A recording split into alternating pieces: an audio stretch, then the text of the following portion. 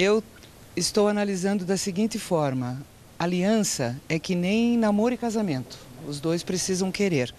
E quando rompe, não significa, entende, inimizade, né? Porque do rompimento de tanto de uma aliança quanto de um de um relacionamento, você pode ter, como eu acredito que teremos sempre, entende, com o PS, PSB, muito respeito, muita parceria, até porque ao longo das últimas décadas, uh, PT e PSB foram parceiros e juntos né, tivemos muitos resultados positivos em termos das nossas ações, tanto em governos municipais, estaduais, como inclusive no governo federal. A senhora acredita que, que esses nomes devem ser substituídos rápido? Ah, isto é uma... A senhora já conversou com Não, o presidente isto é uma orientação que nós vamos estar aguardando da presidenta. A especulação de que iria para o PMDB ministério, os ministérios, não tenho, não tenho menor condição de responder sobre este assunto, porque este é um assunto única e exclusivamente de decisão da presidenta Dilma.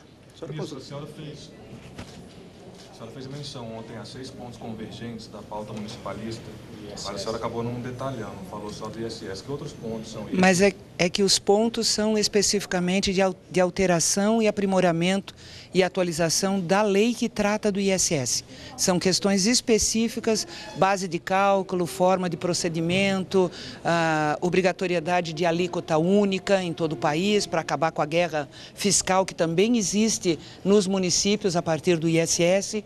Então são pontos uh, que todos eles têm relação com o, o, o ISS. Então, algum, algum ponto que a senhora acredita que vai ter maior impacto, assim, desse da, da comércio eletrônico, a regulamentação? É, nós, nós acreditamos, até pelos estudos apresentados pelas entidades, né, tanto a Confederação Nacional dos Municípios quanto a Frente Nacional de Prefeitos, apresentaram estudos uh, a respeito do impacto de modificações e aperfeiçoamento na lei uh, que regulamenta o ISS no país.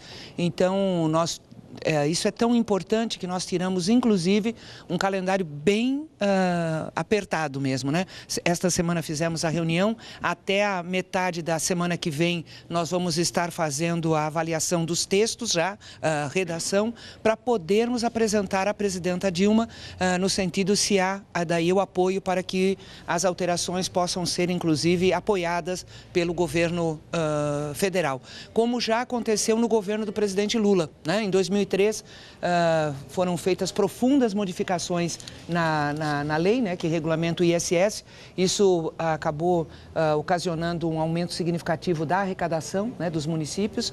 a CNM, inclusive, apresenta com números né, o crescimento exponencial do ISS pelas alterações feitas e nós temos a convicção de que, com o texto pronto, provavelmente deveremos ter o apoio, como já tivemos do presidente Lula, deveremos ter também da presidenta Dilma para estas modificações. Ministro... as questões tributárias são as mais difíceis de aprovar. Você acredita que essa vai prosperar? É porque normalmente uh, você acaba mexendo com interesses, né?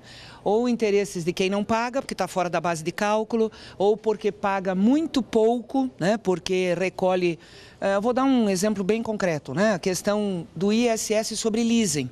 Uh, hoje, a, o banco faz a negociação com o município que cedia né, uh, o banco.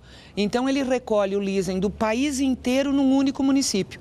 E esse município, obviamente, que é beneficiado, não cobra a alíquota de 2% do ISS do banco. Cobra uma alíquota praticamente residual. Como é do Brasil inteiro, é uma grande fonte de arrecadação daquele município. Mas todos os demais municípios do Brasil acabam tendo, obviamente, zero né, de arrecadação de ISS sobre o leasing, que inclusive é realizado no município, né, no município sobre, em todos os casos. de cartões, é isso? Leasing é, é, é leasing de equipamentos, máquinas, automóveis. Tem também essa mesma discussão com relação ao cartão de crédito, né, que também é centralizado num único município. Então, é claro que quando você faz uma alteração, uh, algum, algum interesse vai ser né, uh, você vai mexer com algum interesse. E isso, obviamente, sempre tem reação. Mas eu acredito que, como tivemos a capacidade de, em 2003, de aprovar, nós também teremos né, condição de fazer o convencimento. Aliás, com as entidades municipalistas, nós queremos fazer uma proposta que tenha viabilidade de ser aprovada ou seja, uma proposta que a gente possa focar nas questões centrais, né, nas questões mais importantes, uh, e que também não tenhamos né, um, uma reação muito pulverizada né, de interesses contrariados para a aprovação. Ministra, cai hoje a urgência constitucional da mineração? Existem uh, muitas possibilidades da retirada da urgência. Uh, nós estamos uh, fazendo as tratativas né, com a Câmara para isto, porque além da urgência da mineração, nós temos mais outros projetos que têm urgência também. Tem o ProSUS, tem a Anater, tem a questão do, do DENIT, né, que inclusive a, o regime de urgência fez parte do acordo para o encerramento da greve né, dos funcionários do DENIT. Então, nós estamos fazendo as tratativas, porque, inclusive, o apelo da, da Câmara é de que a gente possa equacionar as urgências com o compromisso, né, com data certa de votação né, do, do da regulamentação do, do, do, Código da Mineração uh, para o meio de outubro, uh, de tal forma que a Câmara possa se debruçar sobre modificações na questão eleitoral, porque nós estamos correndo contra o tempo. Né? Se tiver que ser feita qualquer alteração, uh, isso tem que estar sancionado até o dia 5 de outubro, para poder valer para a eleição do ano que vem. Então, efetivamente, se nós tivermos condição né, de equacionar não só a urgência do Código de Mineração, mas de todos estes outros projetos, a Câmara está solicitando muito ter uma possibilidade de fazer uh, votações sobre matérias eleitorais na semana que vem. Uhum. É, ministro, só sobre o PSB ainda, é, tem votações importantes aí, enfim, saindo do governo.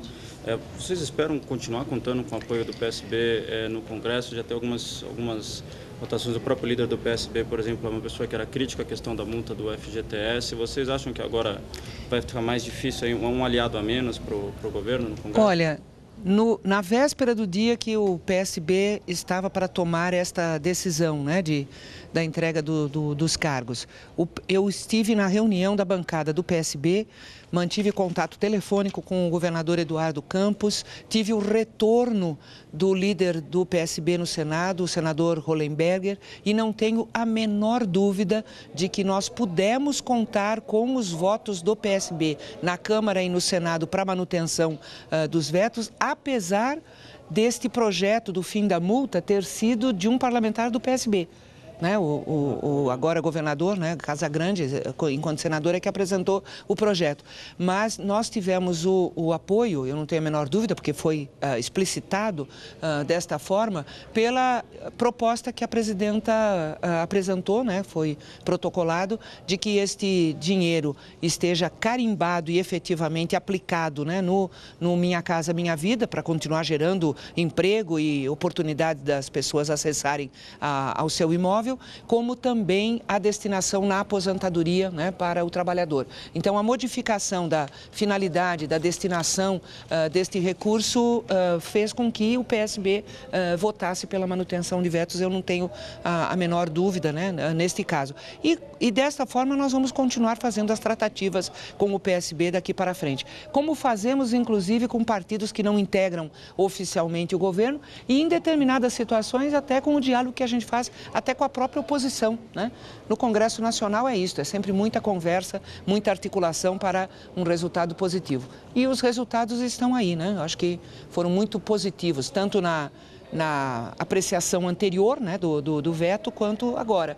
É harmonia, é relação, é negociação, a, o contato mais permanente, mais frequente da presidenta né, com os líderes, uh, tanto da Câmara quanto do Senado, tem uh, uh, né, ajudado muito, contribuído muito e tem sido, inclusive, muito produtivo, reconhecido por ela e pelos líderes, ou seja, das reuniões nós temos encontrado boas soluções para impasses né, que nós tivemos em votações.